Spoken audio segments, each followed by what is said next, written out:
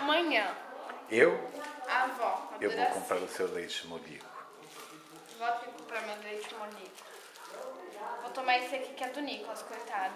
Porque o Diego comeu de, tomou dele, né? O que, que é isso? Yakult? É o Yakult.